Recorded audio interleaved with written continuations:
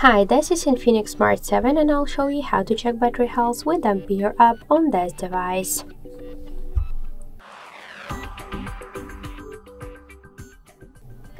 So first we should open the Play Store application. Then in the search bar we should enter the Ampere and now we should get this first application so tap to install button and wait a couple of seconds.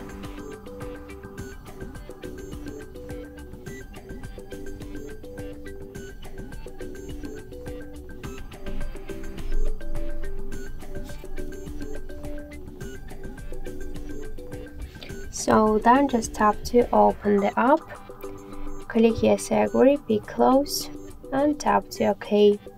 And now we get information about our battery health and in my case that uh, the battery is in a good condition and also we got here more information like the battery health, capacity, voltage, Android version and more other info. So that's it, thank you for watching and if you find this video helpful, leave thumbs up and subscribe our channel.